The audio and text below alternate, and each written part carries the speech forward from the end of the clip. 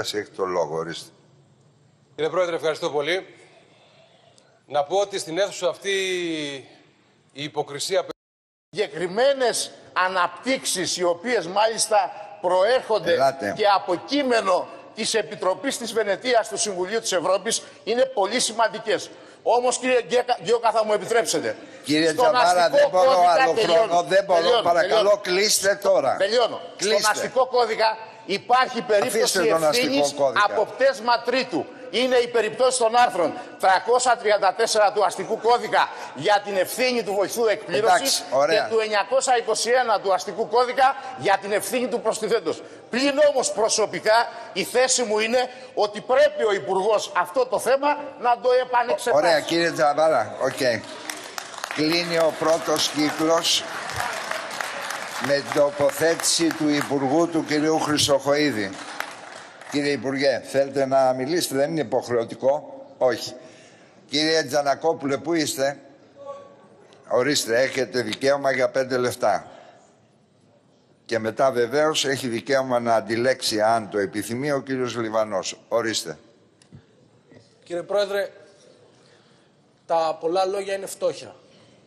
Και ο κύριος Τζαβάρας ξέρει από πολλά λόγια. Αφού θεωρεί ότι εμείς δεν είμαστε κοινοβουλευτικά ευπρεπείς α, και δεν μπορούμε να υπερασπιστούμε την ε, αίτηση αντισυνταγματικότητας που καταθέσαμε, τον προτρέπω να διαβάσει λίγο καλύτερα την επιστημονική έκθεση του, Συμβου- του- την έκθεση του Επιστημονικού Συμβουλίου της Βουλής, πράγμα το οποίο θα τον κάνει να κατανοήσει σε, με όρους κοινοβουλευτικής ευπρέπειας, την οποία υποθέτω δεν αμφισβητεί και για το Επιστημονικό Συμβούλιο της Βουλής, ότι το νομοσχέδιο το οποίο κατέθεσε ο κύριος Χρυσοχοίδης είναι αντισυνταγματικό. Αν δεν του αρκεί αυτό, μπορεί να δει και τις γνωμοδοτήσεις τις οποίες κατέθεσε ο ΣΥΡΙΖΑ πριν από λίγες μέρες του Συμβουλίου της Επικρατείας σε σχέση με τα προεδρικά διατάγματα του κυρίου Δένδια, όπου αναλύεται με πολύ μεγάλη σαφήνεια ότι οι λόγοι απαγόρευσης διαδήλωσης απαριθμώνται περιοριστικά στο Σύνταγμα και είναι δύο. Πρώτον, κίνδυνος δημόσιας ασφάλειας και δεύτερον, σοβαρή διατάραξη της α, οικονομικής και κοινωνικής ζωής θα επανέλθω. Αν δεν του αρκεί ούτε αυτό, μπορεί να διαβάσει την ανακοίνωση του συντονιστικού της Ολομέλειας των δικηγορικών συλλόγων που υποτίθομαι, ε, υπο, ε, υποπτεύομαι ότι ούτε σε αυτό το συντονιστικό αρνείται την δημοκρατική ευπρέπεια ο κύριος Τζαβάρας, όπου επίσης υποστηρίζει τι, ότι το νομοσχέδιο το οποίο κατέθεσε ο κύριος Χρυσοχοίδης είναι αντισυνταγματικό και τούτο ως προς την προληπτική απαγόρευση διαδήλωσης από την αστυνομική ή τη λιμενική αρχή. Αυτά περί ευπρέπειας. Τώρα, επί της ουσίας. Το νομοσχέδιο, και αφού ο κύριος Τζαβάρας αμφισβήτησε το αν και κατά πόσο εμείς ονοματίσαμε ή συγκεκριμενοποιήσαμε τις αντισυνταγματικότητές του σε σχέση με τα άρθρα του συντάγματος, θα σας πω λοιπόν, κύριε ε, Τζαβάρα και αγαπητοί συνάδελφοι της ε, Νέας ε, Δημοκρατίας και κύριε Υπουργέ, συγκεκριμένα μία έμεση και μία άμεση αντισυνταγματικότητα του νομοσχεδίου.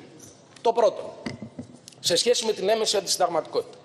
Προβλέπει το νομοσχέδιο οργανωτή της διαδήλωσης, τον οποίο ο κύριος Καραγκούνης σε προηγούμενη ε, συνεδρίαση των Επιτροπών είχε χαρακτηρίσει και πρόεδρο, επαναφέροντας, αν θέλετε, την ε, ορολογία που, είχε χρησιμο, που χρησιμοποιούσε το νομοθετικό διάταγμα ε, 7, ε, 794 του 1971, πρόεδρος της ε, συνάθρησης έλεγε το προεδρικό διάταγμα της Χούντας. Φαντάζομαι ότι ε, θα μπορέσει να επανορθώσει στη σημερινή τοποθέτηση ο κ. Καραγκούνης.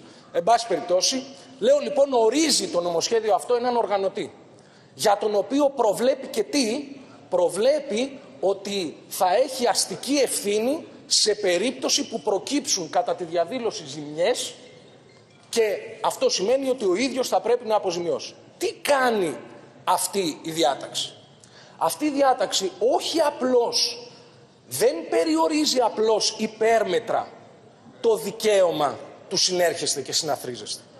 Κάνει κάτι ακόμη περισσότερο. Τι κάνει, το αποτρέπει. Λειτουργεί δηλαδή αυτή η διαδικαστική προϋπόθεση αποτρεπτικά ως προς την άσκηση του δικαιώματος του συνέρχεστε και συναθρίζεστε. Και θα ξέρετε κύριε Τζαβάρα ότι σε αυτή την περίπτωση όταν δηλαδή έχουμε βλάβη στον πυρήνα του δικαιώματος δεν εισερχόμαστε καν στη συζήτηση για να δούμε αν το δικαίωμα έχει περιοριστεί αναλογικά. Δεν μπαίνουμε στη φάση της εξέτασης της στήρησης της αρχής της αναλογικότητας. Έχουμε βλάβει στον πυρήνα του δικαιώματος και δεν μπαίνουμε καν στην εξέταση της αναλογικότητας.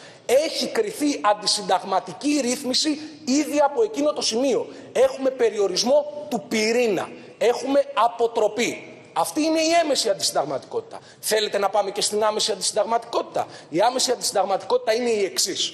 Το Σύνταγμα, όπως θα γνωρίζετε πάρα πολύ καλά, στο άρθρο 11 προβλέπει δύο λόγους για την απαγόρευση διαδήλωσης. Ποιοι είναι αυτοί οι δύο λόγοι, Ο ένας είναι ο, η δημόσια ασφάλεια και ο άλλος είναι η σοβαρή διατάραξη της οικονομικής και κοινωνικής ζωής.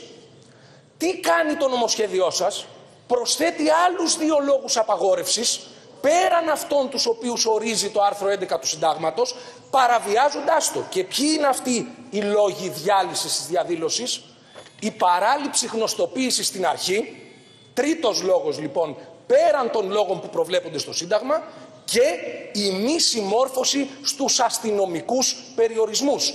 Τέταρτος λόγος για τη διάλυση διαδήλωσης. Αυτό όπως καταλαβαίνετε κύριε Τζαβάρα είναι σε πλήρη αντίθεση με τους περιοριστικά ε, αναφερόμενους στο Σύνταγμα λόγους για διάλυση της διαδήλωσης. Επομένως έχουμε άμεση παραβίαση του άρθρου 11 του Συντάγματος, άρα άμεση αντισυνταγματικότητα. Αυτά λοιπόν για την μη κοινοβουλευτικά ευπρεπή παρουσία του ΣΥΡΙΖΑ, ο οποίος δεν ανέφερε δήθεν συγκεκριμένα άρθρα τα οποία παραβιάζει το νομοθέτημά σας. Ένα νομοθέτημα φασίζουσας έμπνευσης, πατερναλιστικής λογικής ένα νομοθέτημα το οποίο έρχεται στη συγκεκριμένη περίοδο διότι η Νέα Δημοκρατία έχει αφενός ιδεολογικές αιμονές ιδεολογικές αιμονές απέναντι στους αδύναμους, απέναντι σε αυτούς που διεκδικούν, απέναντι σε αυτούς οι οποίοι είναι υποχρεωμένοι από τις πολιτικές και εξαναγκάζονται από τις πολιτικές σας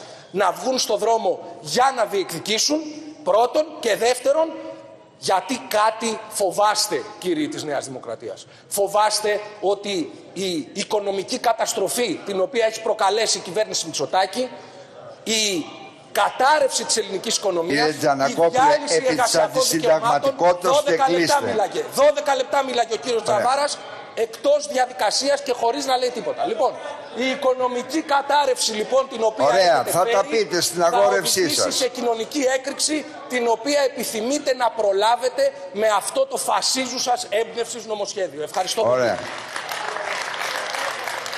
Καθίστε κάτω κύριε